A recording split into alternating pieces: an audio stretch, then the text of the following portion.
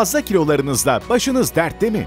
Bölgesel yağlarınızdan kurtulmak, daha zinde bir vücuda sahip olmak mı istiyorsunuz? Bu önerilere kulak verin. Bireylerde vücut kitle indeksi ve yağ oranı ne olmalı? Yağ yakmayı sağlayan egzersiz hareketleri neler? Yağlar egzersizle kasa dönüşür mü? Evde basit ve etkili egzersiz önerileriyle spor eğitmeni Vedat Çamak az sonra sağlıkla gülümsede. Sağlıkla Gülümse'ye hoş geldiniz efendim. Ee, bugün konuğum Vedat e, Çamak, hoş geldiniz. Teşekkür Ee, spor eğitmeni kendisi. Çok güzel konularımız var, sonra hareketlerimiz var. Bugün yine e, kendimizle ilgili güzel şeyler yapacağız. Kesinlikle, Şimdi e, bayramın üçüncü günü mü bizimle Üçüncü gün birlikte? beraberdik, evet. Beraberdik. Bayramın üçüncü günü. Şimdi egzersizle bölgesel yağlardan kurtulmak mümkün mü? Güzel soru. Ee, aslında e, yağ konusuna girdiğimiz zaman yağ biraz daha farklı bir e, durum. Bölgesel çalışmayla bölgesel incelme gibi bir çalışma olur mu? Egzersizden çok mümkün değil. Çünkü vücuttaki yağ oranını düşürmedikçe bölgesel yağdan yağ azaltmanız imkansız. Onun için günlük hayatta vücudumuzun en fazla hareketli bölgesi neresiyse önce yağ oranı oradan yakılır. Sonrasında vücuttaki yağ oranı düştükçe istediğimiz bölgeye doğru ilerleriz. Evet güzel. Yağ yakımına destek olmak için ne tür egzersizler seçilmeli? Ya biraz tabii şiddeti arttırmak gerekiyor. Burada nabız çok önemli. Yani ortalama nabzı 125-130'lara doğru çıkarmamız gerekiyor ki hangi egzersiz olursa olsun ve bundan sonrasını yağ yakmamız gerekiyor. Ve yağ yakımı için de biraz uzun süreli bir egzersiz lazım. Yani 15-20 dakikadan sonrasında artık yavaş yavaş vücuttaki yağ yakımına başlıyor vücut. Hocam e, bu e, şeyi e, nabız konusunu lütfen bir genelleme yapmadan hani e, söylerseniz e, kimler 130'a kadar çıkmalı da kimler hiç çıkartmamalı gibi o uyarıyı da verirsek Tabii çok tabii iyi olur. kesinlikle. Şimdi şu şekilde yaptığımız buradaki yorumlar ben genel olarak söylüyorum zaten. Yani ortalamayı alıyorum ama 130 135'in üzerine kim yap kim çıkması gerekiyor? Normal egzersiz yapan, düzenli egzersiz yapan kişiler. Tabii buradaki yaş önemli, cinsiyet önemli, e, sa- sağlık durumu çok çok önemli. Bunlar eğer bu tür problemlerde ya da e, belirli e, doktor kontrolünde özellikle bir rahatsızlığı falan olmuşsa kesinlikle doktoruna danışarak ve o neticede no- normal nabza çıkması Evet gerekiyor. kişiler kendini biliyorlar. Mesela benim şekerim var, birinin tansiyonu var falan gibi. E, bunları da doktora sormalılar. Kesinlikle, kesinlikle. Yani egzersize zaten başlamadan önce kesinlikle bir doktor arkadaşa yani e, özellikle kardiyovasküler çalışmayla ilgili e, EKG'dir gibi şeylere bir raporlandırma danışarak ve sonrasında eğitmen, uzman eğitmen arkadaşlara danışarak beraber çalışmaları Normal çok da spor faydalı olur. salonlarına gidince de veya hocayla çalışınca da bu soruları soruyorsunuz Tabii değil ki, mi tabii bizlere? kesinlikle, kesinlikle. Evet.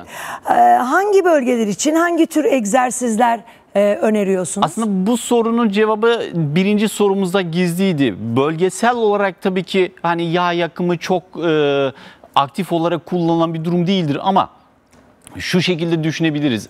E, belirli bölgelerde şiddeti arttırabiliriz. Antrenman şiddetini arttırabiliriz. Yani genel olarak şöyle bir örnekleme yaparsak işte e, biceps kollar için çalışma yapıyorsak genelde de bizde karın ve kalça kısmına daha fazla yağ vardır. Yapacağımız egzersiz tekrar sayılarında ya da set olarak düşünürsek e, diğer bölgeler için 2 set ya da 3 set yaparken bu bölgeyi 4-5 set ve tekrar sayısını daha artırarak uygulayabiliriz. Ee, sizin bulunduğunuz ortamlarda, salonlarda e, maske konusunu bir şey yapalım mı hocam? Tabii, tabii. Yani e, gelenler, spor yapanlar maske takmıyor da sizler takıyorsunuz Tabii galiba tabii öyle mi? eğitmen arkadaşların hepsi ve e, salonda e, görevli olan bütün arkadaşlar maskeli. Gelen üyelerimiz de egzersiz için gelen üyelerimiz de e, girişten e, egzersiz alanına kadar maskeli ama egzersize başladığı andan itibaren maskeyi çıkarması gerekiyor. Çünkü e, Bu çok önemli bilgi Kesinlikle. e, şundan dolayı oksijenli ortamda oksijenle egzersiz yapmanız gerekiyor. Şimdi oksijeni kısıtladığınız zaman zaten e, laktak asit bir süre sonrasında birikmeye başlıyor ve bu da e, kasılmalara ve istediğimiz performansı etkilemiş olur. Elde etmemizi sağlar. Peki e, yağ yakımı egzersizin hangi evresinde başlar? Başta söylediğim gibi e, yağ yakımı için uzun bir biraz daha uzun bir antrenman ama genel total olarak şey yaptığımızda 15. ve 20. dakikadan sonrasında vücuttaki diğer enerji sistemlerini tükettikten sonra yağ yakımından destek, yağdan destek almaya başlarız. Bu mesela ilk başlangıçta e, adenon trof- trofi- e, dediğimiz e, sistem devrede. İlk e, ondan başlıyoruz. Sonrasında glikojen, karbonhidratlar ve yavaş yavaş uzadıkça süre yağlardan almaya başlıyoruz. Bir şey merak ediyorum. Egzersiz sonrası da yağ yakımı devam ediyor mu? Kesinlikle e, yapacağınız egzersizin e, şiddetine bağlı olarak bunu 24 saate kadar çıkarabilirsiniz. 24 saat süresince ama bu tamamen yine kişiye bağlı. Yani egzersiz yaptınız, çıktınız, beslenmenize dikkat etmezseniz o süreyi düşürürsünüz. Yani 2 saate düşürürsünüz, 3 saate, 5 saate düşürürsünüz. Ama düzenli ve e, yağ yakımınızı sağlayan bes, beslenmeyle de desteklerseniz bunu, bunu 24 saate kadar çıkarabilirsiniz. Peki e, kişilerin yağ oranı ne olmalı? Bunun hesabı nasıl? Hani biz bakıyoruz biraz göbeklendik diyoruz. Kollarımızın şurası şöyle oldu diyoruz. Bacağımız böyle oldu diyoruz. e, basende bir şey oldu diyoruz falan ama bu oran nasıl oluyor Şimdi hocam? şöyle e, burada da kadın ve erkek olarak ayırmamız lazım. Şimdi yüz- erkeklerde ortalamayı söylüyorum. %15'lik dilimde olması gerekiyor. %15'lik dilimde olduğumuz zaman şu demek normal, iyi, fit durumda demektir. Yavaş yavaş 20'ye kadar e, normal seviyede oluyor ve sonrasında artık yavaş yavaş kilolu grubuna giriyor şey olarak. Evet. Kadınlarda ise %22'ye kadar normal görüyor ol- e, olması Ya. gereken yağ oranı. Evet, vücut kitle indeksinin yağ oranı ile ilgisi var mı? Bireylerde e, vücut kitle indeksi kaç olmalı? Tabii yağ oranıyla e, ilgili çünkü kitle endeksi, vücut kitle endeksinin ölçümü ya da formülü şudur. Kişinin kilosu bölü boyun karesi demektir. Bu da kilo arttıkça kitle endeksinin artması demektir. Burada ise ortalama e, yüzdelik olarak e, değerlendirdiğimizde 20'nin altında olanlara zayıf diyoruz. 20 ile 25 arası ideal bölüm. 25-30 arası artık yavaş yavaş kilolu. 31-34 arası şişman ve üstü obez durumuna kat- E, giriyor. bir kişi egzersizle ortalama kaç kilo verebilir? Tabii buradaki egzersizin şiddeti çok önemli. Türü. Türü, eee, şiddet, sıklık bunların hepsi antrenman bilimleri içerisinde olması gereken. Zaten bunu uzman arkadaş bunu eee, programlıyordur. Ama bundan daha da önemli olan kısımlardan bir tanesi de beslenmedir. Beslenmesine dikkat ettikçe beslenmesiyle beraber çünkü egzersiz yüzde eee, 40 yüzde 50 oranında etkili olur ama sonrasında beslenmedir. Yani biz hep şu örneği söyleriz. İşte egzersiz yaptınız örnek olarak söylüyorum eee, 500 kalori harcadınız egzersizde. Ama çıkıp hemen dışarıda da restoranda gidip 1000 kalori alırsanız o zaman sadece sağlık açısından spor yapmış Evet, olursunuz. bunları zaten e, bilmemiz lazım. Düzenli yürüyüş yapmak. Bu beni ilgilendiriyor. E, yağ yakımına yardımcı olur mu? Bu yürüyüş tempolu mu olmalı? Kesinlikle tempolu olmalı. Çünkü başta da söylediğimiz gibi nabzı yükseltmeniz gerekiyor. Yürüyüş tabii ki yapılması gerekiyor. Ama bir tem, belirli bir temponun altında kaldığınız zaman sadece sağlık açısından ve eklemler açısındaki e, sağlık durumunu il- ilgilendirir. Ama bunu yağa dönüştürmek, yağ yakımına dönüştürmeniz için evet belirli e, antrenmanın belirli etaplarında e, yükseltmeniz lazım nabzı. Yani bu sürekli olması gerekmiyor ama.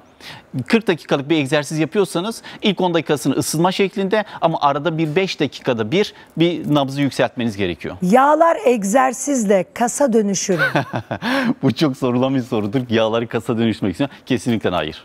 Çok net. Öyle mi? Kesinlikle hayır. Ee, bir şey söyleyeceğim. Şimdi diyete başlıyoruz, spora da başlıyoruz. Ama o kadar da dikkat ediyoruz. Böyle ee, şey oluyor, tartıda fazla çıkıyoruz. Bu ne demek oluyor? Yani kas kasa mı dönüştüğümüz için ağırlaşıyoruz? Aa, orada farklı bir ölçüm yapmanız gerekiyor. Şu şekilde yani sizin kas ölçümünüzde yağ ölçümünüz farklı. Ee, başlangıçlarda ağırlık olarak da e, farklı uygulamanız gerekiyor. Ama e, şu şekilde e, ilk başlarda başladığınız andan itibaren vücut kendini bir korumaya alır. Çünkü bir alışık olmadığı bir hareketlilik sistemi ve bundan korumaya alır. Bunun için işte ikinci, üçüncü aya devam etmeniz gerekiyor. Sonucu ondan sonra almaya başlarsınız. Süper. Hocam hadi şimdi hareketleri yapalım. Ben Tabii. nefes nefese kalın e, istemedim. E, bize e, yağ yakmak için evimizde kendimiz başarabileceğimiz e, veya ne bileyim e, siz online eğitim veriyorsanız size bağlanıp yapabileceğimiz ama özellikle bize birkaç tane şey gösterin ki şunları yaparsanız bayağı bir toparlanırsınız. Tabii, tabii. E, hem sağlıklı olursunuz hem de biraz Yağ yakarsınız. yağ yakarsınız. Buyurun. Tabii. Ee, şimdi yağ yakmak için dediğim gibi ilk başta da söylediğim gibi biraz e, şey uygulamak gerekiyor. Tempoyu yükseltmemiz gerekiyor. Yer iyi mi Erkan? Biraz hocamı geriye alayım mı? Ee, hocam bir tık sizi geriye alsam çok şahane olacak. Şu evet olduğunuz yer çok Okey. iyi. Burada yalnız biraz atlamalı, sı- sıçramalı hareketler olacak. Biraz yavaş yavaş tempoyu arttıracağım. Burada yapacağımız şey ise ortalama 30 saniyede bir yapmamız gerekiyor. 30 saniye yapıp minimum 30 saniye dinlenip 45 saniyeye kadar dinlenebiliriz ve bunu 2 set olarak yapacağız. Toplamda 3 ya da 4 hareket yaptıracağım ve sonrasında dediğim gibi nabzı biraz yükselteceğiz. Evet. Harekete yavaş bir şekilde başlıyorum. Kolları kaldırdım. Hareketimin adı burpee. Yavaş bir şekilde aldım. Çift ayak uzattım. Çektim. 1 2 3 4 5 6 7 8 9 Son tekrar. Bunu Hocam maşallah. Bir şey söyleyeceğim. Bir benim şimdi sürekli izleyicilerim yaşa boş verenler. "Ee, biz burada oturuyoruz. Yo, biz buradan bunu bunu yapıyoruz. ya ben hayatta bunu yapamam mesela. Birazdan peki Bu çok güzel spor yapanlar için. Evet, evet. Barış çok güzel hareket. Çok güzel hareket. Evet. Ee, ikinci hareketi ha bunu da yapabilirsiniz ama. Yapayım bir bakayım göreyim Şimdi- ben diyeceğim size yapabilir miyim? Buradayım. Siz daha yavaş yaparsınız. Önce sizin yapacağınız şekilde göstereyim. Bu.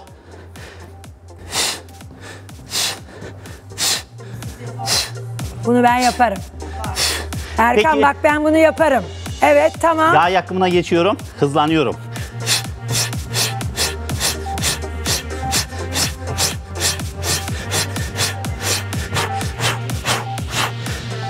Yok ben almayayım bunu. Öbürünü yaparım. Yapar mıyım? Yaparsınız. Ya. Yaparsınız. Yaparsınız. Evet. Daha ağırlıklı bu hareketler biraz daha kor bölgesi dediğimiz karın bölgesine yönelikti. Oblikleri katalım buna. Aynı hareketi dizleri çapraza doğru çekiyorum şimdi. Az önce düzdü, çapraz. Bunu yapabilirsiniz yavaş.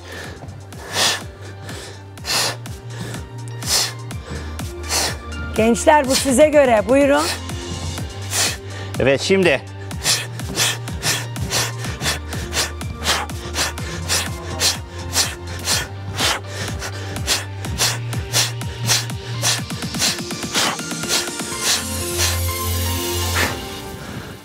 Şimdi ben diyelim ki online eğitim alıyorum hocadan. Hoca diyor ki bana bu hareket. Hocam biraz sohbet edebilir miyiz size. Yok yok Ama performansı. çok güzel. Yani spor yapmak isteyenler için şahane hareketler. Bakın e, online eğitimini evinize getiriyoruz. Buyurun Kesinlikle. hocam. Son bir hareketimiz. Bunu daha statik şekilde uygulayacağız. Normal bildiğimiz plank hareketi ve sadece çık yukarı karın bölgesi için çok iyi bir egzersiz. Bu tek kol çıktım. Diğeri. Sonra Tekrar iniyorum. Çıktım. Ve yavaşça iniyorum. Hocam Siz çok sabit kalın. teşekkür ediyorum. ben var ya bir dakika Erkan bunu yapacağım. Ama Tamam. orada kalacağım. Yok. Portakal. bir dakika nasıldı hocam? Evet. Mu? Dirsekler. Bir dakika. Buradayız beraber. Bir dakika. Portakal orada kal. Hocam hoşça kalın. Sağlıkla kalın. Mutlu kalın. Hocam burada biraz muhabbet ed- ederiz. Biraz sosyal mesafeyi ayarlayın. Ha? Ne geliyor bir dakika? Aa konuğumuz var. Ben, ben kalırsam burada. Yayın bitmedi.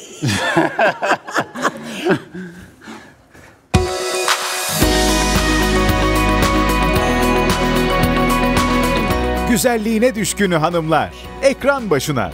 Cildinizi yaza hazırlamak, kaşlarınızı yüzünüze uygun hale getirmek istiyorsanız bu program kaçmaz. Kaş tasarımında yüz şeklinin önemi ne? Kalıcı kaş makyajında doğallığın sırrı ne? Yaz aylarında hangi cilt bakımları ne sıklıkla yapılmalı?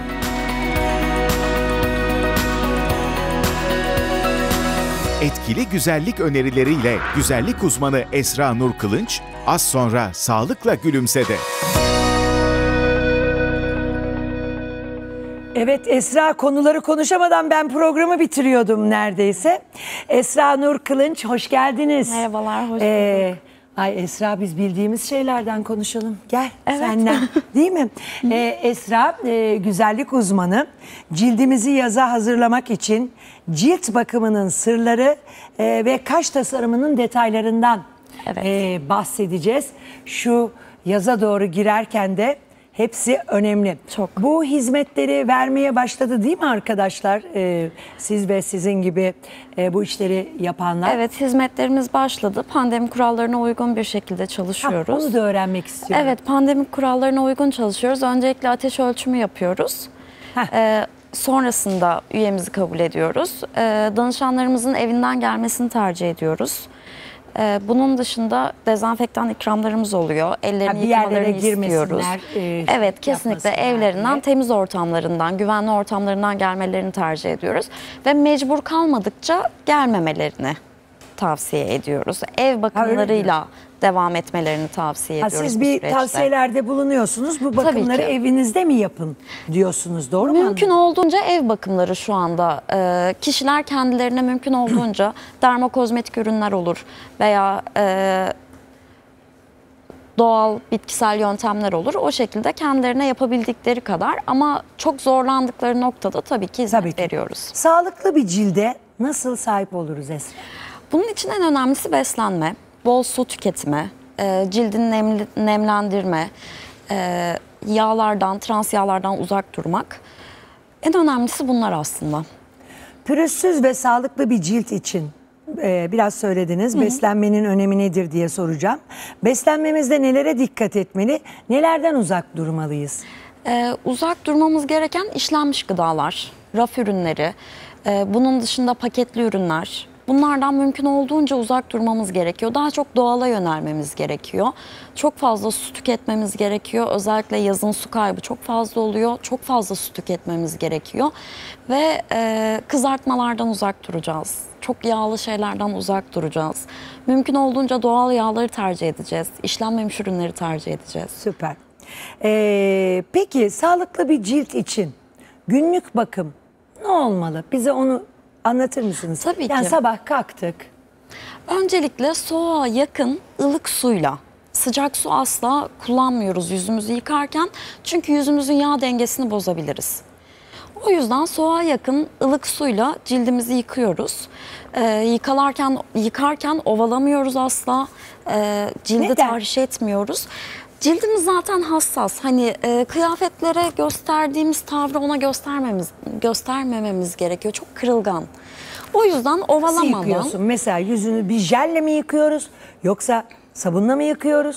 Aslında bu konuda e, mesela yüzümüzde biriken kirler var. E, kimi yağda çözünen kirler, kimi e, suda çözünen kirler. Öncelikle bir yüz yıkama jeli veya yüz yıkamak için yüz temizleme sütü bu tür ürünleri kullanıyoruz. Ardından suyla duruluyoruz. Suyla yüzümüzü duruladıktan sonra bunu günde iki kez yapıyoruz. Ne daha fazla ne daha az. Daha fazla yaparsak cildimiz kurur. Daha az yaparsak yağlanır, kir birikmesi, komedon tıkanması gerçekleşir. Ee, yıkadıktan sonra da muhakkak tonikliyoruz, gözeneklerimizi kapatıyoruz ve nemlendiriyoruz. nemlendiriyoruz. Eğer bir makyaj hani işe gidiyoruz, dışarıya çıkıyoruz veya bir e, toplum içine karışıyoruz, bir yerde bir randevumuz var, bir şey var. Bir makyaj, hafif bir şey yapmak istiyorsak bütün bu işlemlerden sonra mı? Yani Evet. bir nemlen, nemlendirmeden kaç dakika sonra bir makyaj yapabiliriz? 20 dakika bizim tavsiyemiz bu konuda. Nemlendirici, üzerine güneş koruyucumuzu kullanıyoruz. Yaz kış asla bırakmıyoruz. 20 dakika sonra da makyaj malzememizi güvenle uygulayabiliriz. Evet sabah kalktığımızda bunlar hep yani o e, kremi sürüp makyaj yaparsak hiç tutmuyor makyaj. Biraz onun emmesini beklememiz lazım. Aynen değil mi? öyle. Kreme doyduktan sonra makyaj malzemeleri daha mat, Süper. daha güzel görünüyor ciltte. Cildimizi yaza nasıl hazırlayabiliriz? Ee, bunun için en önemlisi çok fazla su tüketmek. Bunun dışında cildimizin vitaminlere ihtiyacı var, minerallere ihtiyacı var. Bu eksikliklerini tamamlamamız gerekiyor cildimizin. Ee, su seviyesini, nem seviyesini optimumda tutmamız gerekiyor. Ee, sonrasında güneş koruyucular daha etkili olacaktır. Daha iyi sonuçlar verecektir. Ve uzun saatler güneşte kalmıyoruz yazın. Bakımlarımızı öncesinde yaptırıyoruz. Bir şey sorabilir miyim?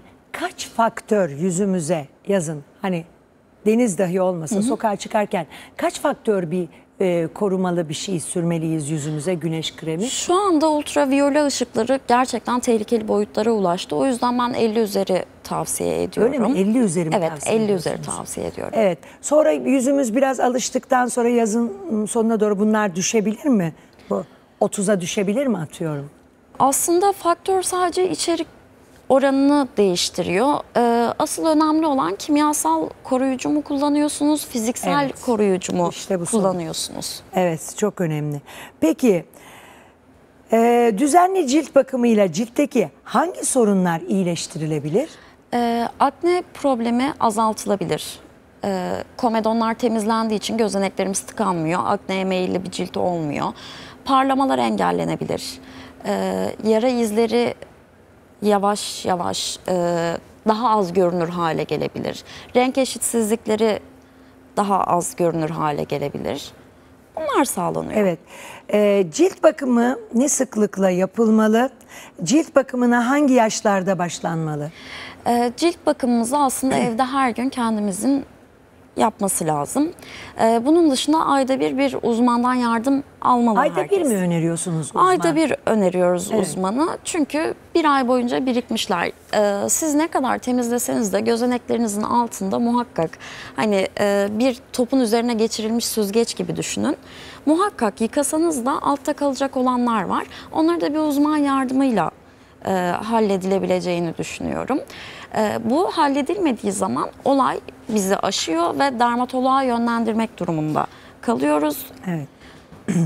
Peki cilt bakımının kişiye özel olması neden önemli? Herkesin cildi eşsiz, herkesin cildi kendine özel. O yüzden kişiye özel bakımlar uyguluyoruz. Ee, Erkan ses duyuluyor değil mi? Ee, konuğumun sesi Esra Hanım'ın. Evet tamam. Peki ee, cilt temizliği ne sıklıkla yapılmalı? Cilt temizliğinde nelere dikkat etmeli? Mesela uzmanlar yaparken hadi kendimiz bir şek- şekilde dikkat ediyoruz. Yine de kullandığımız şeyi biliyoruz. Uzmanlar yaparken biz hani nelere dikkat etmeliyiz? Ee, uzmandan ne talep etmeliyiz? Öncelikle cilt analizi talep edilmeli. Hani benim cildim nasıl? Ee, bunu nasıl analiz edeceksiniz? Vardığınız sonuç nedir? Ee, tavsiye ettiğiniz ürünler nedir? Gerçekten güvendiğiniz bir uzman e, ellerine kendinizi bırakıp günlük bakımlarınızı da o uzmanın direktiflerine uyarak çok rahat bir şekilde halledebilirsiniz. Şöyle bir durum var. Mesela bir e, ürün kullanıyorsunuz. İçeriğinde e, bir madde var. E, cilt bunun üretimini durdurmasın diye, bu içeriğindeki maddeyi zaten dışarıdan alıyorum demesin diye 6 ayda bir zaten ürünlerimizi değiştirmemiz gerekiyor. O çok önemli bir nokta. 6 ayda bir ürünlerimizi değiştiriyoruz, içerikler değişiyor. Cildi e, dışarıdan almaya alıştırmıyoruz. Kendisi üretme eğiliminde oluyor ve cilt yetersiz kaldığı yerde biz takviye ediyoruz. E, bu arada cilt bakım yaşımız e, ergenlikten başlıyor. Ergenlikte hormonlardan dolayı ciltte bir e, dışarıya atılım gerçekleşiyor. Bunlar düzenli aralıklarla temizlendiğinde bu süreç e, yara izi kalmadan, sivilce izi kalmadan veya akne oluşmadan atlatılabiliyor. Evet. e, bir şey söyleyeceğim. Diyelim ki ben geldim size veya daha genç bir arkadaş geldi. E, nereden başlarsınız? Yani siyah nokta mı temizlersiniz? Bir nem buhar mı verirsiniz? Öyle şeyler zamanında hatırlıyorum. Şu sıralar Evet. hiç gitmiyorum da öyle bir cilt bakımına falan ama e, doğrusu nedir bunun onu öğrenmek için? Öncelikle e, analiz ediyoruz. Cilt kalınlığını, cilt hassasiyetini analiz ediyoruz. Analiz edildikten sonra e, uygun mesafeden uygun süreyle buhara tutuyoruz. Gözeneklerimizi açıyoruz cilde zarar En- vermemek en için. güzel şeylerden bir tanesi o. Onu hatırlıyorum. Çok Gözenekler güzel şey açıldıktan sonra temizlemeye başlıyoruz. Temizledikten sonra e, bir maske uyguluyoruz. Ardından beslemeye, nemlendirmeye geçiyoruz. Evet, e, o kadar güzel, o kadar önemli bir şey ki ben vakitsizlikten bunlara pek vakit ayıramıyorum. Ama şu buhar olayı ve bu temizleme e, birdenbire canlanıyor cilt. Evet, anında Bunu, fark bu ediyor. yaptığınız buraya kadar olan işlemi bir de problem yoksa ayda bir mi önerirsin? Ayda bir öneriyoruz. Evet. Peki tonik ve peeling cilde ne sıklıkla uygulanmalı? Ee, tonik her gün iki kez uygulanmalı. Yüzümüzü yıkadıktan sonra açılan gözenekleri kapatmak, eğer içinde kalan temizleyici ürünlerin içinde kalma ihtimali oluyor gözeneklerimizin. Onları da atmak amacıyla toniği günde iki kez kullanıyoruz. Tonik en önemli e, unsurlarından biri cilt bakımının günlük bakımın. Peeling'i haftada ikiden fazla yapmamayı tavsiye ediyoruz. Ee, ölü deri atımını sağlıyor peeling ve haftada ikiden fazlası cildi tahriş eder. pH dengesini bozar, yağ dengesini bozar. O yüzden haftada iki kez. Mümkünse banyodan sonra. Evet, e, güzel. Peeling de iyi. Ama uzmanlar tabii bizim evde yaptığımız gibi yapmıyorlar. Çok e, güzel yapıyorlar o peelingleri. Ee, partiküllü peelinglerde cildinizde mikro çizikler oluşturma ihtimaliniz var. Ve sonrasında güneş korumasız dışarıya çıkarsanız e, muhtemelen güneş lekesi oluşacaktır. Daha maliyetli bir sürece girersiniz ondan Evet. sonra. Şu kalıcı makyaj konusuna gelmek istiyorum. Kalıcı kaş makyajı nedir? Nasıl uygulanır? Kalıcı kaş makyajında doğallığın sırrı e, nedir? E, kaş çok önemli bir şey. En önemlisi. Yani gerçekten çok çok önemli bir şey. Hadi şu kaş konusuna girelim. Neler yapıyorsunuz? Bu doğal olmasının sırrı ne? Ee, kaş için farklı teknikler var. Mikropigmentasyon, e, pudralama tekniği deniliyor veya e, microblading kıl tekniği deniliyor. Kişinin yüzüne ne uygundur? Kişinin yüzüne göre bir altın oran alınır. e, ön çizimi yapılır. Eğer kişi bunu beğenirse bu e, deri altına mikro iğnelerle e, kök, organik boya. Burası çok önemli çünkü e, organik boya kullanılmadığı takdirde ciltte e, kızılımsı renkler, yeşilimsi renkler veya e, yapılan işlemin geçmemesi söz konusu olabiliyor. Biliyorsunuz kaşın 2-3 yılda bir modası değişiyor.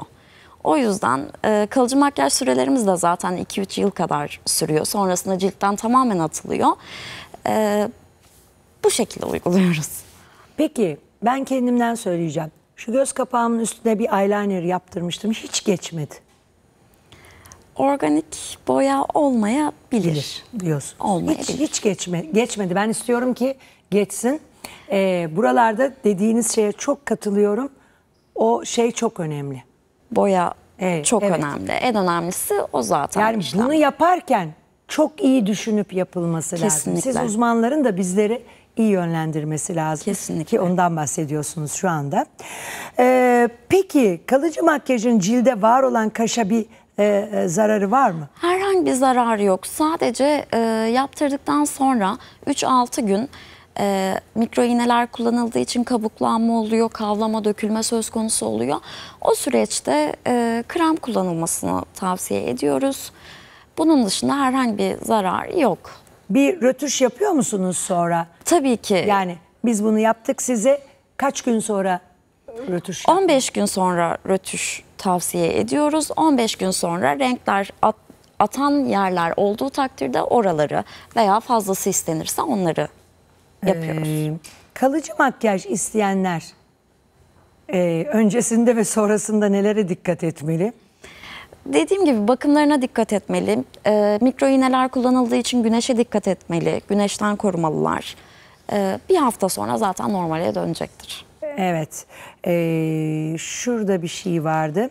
Yani yüzün şekli önemli mi bu kalıcı En makyajda? önemlisi diyebilirim bu konuda. Çünkü herkesin oranı farklı, yüz oranı farklı. Altın orana en uygun şekli kişiye özel şekil tasarımı yapılıyor zaten. Yani onu ölçüyorsunuz falan Kesinlikle değil mi? ölçülüyor. Ondan sonrasında ön çizim ardından kalıcılaştırıyoruz. Valla çok teşekkür ediyorum verdiğiniz Ben teşekkür bilgiler için. ederim. Şöyle bir hatırlatma e, yapmış olduk. Yazın da bu kaş olayı, kalıcı makyaj olayı Mümkünse bahar ve kışta baharda mı yap, yapalım? bahar diyorsun? ve kışta yapalım, yazı öyle Hayır, kurtaralım. kullanmak yazın çok rahat Evet. oluyor demek istedim. Çok teşekkür ediyorum. Bu sefer teşekkür gerçekten ederim. kapatıyoruz. E, efendim e, bizimle olduğunuz için çok teşekkür ederiz. Sağlıklı ve mutlu kalın.